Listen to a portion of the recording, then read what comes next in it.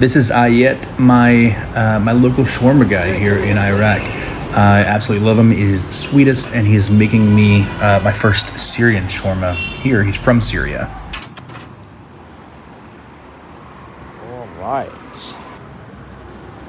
Okay.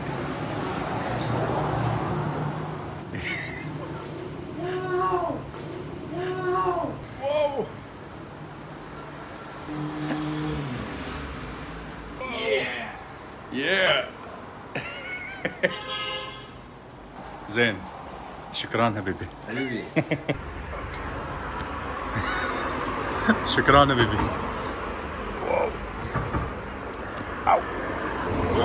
شكرا حركة ليش حبيبي حبيبي So this was so fucking good. It has tahini, uh, it has Arabic pickles, it has entertainment, and it has uh, all sorts of stuff. I'll put it down here so you can see it because I'm not going to say it all.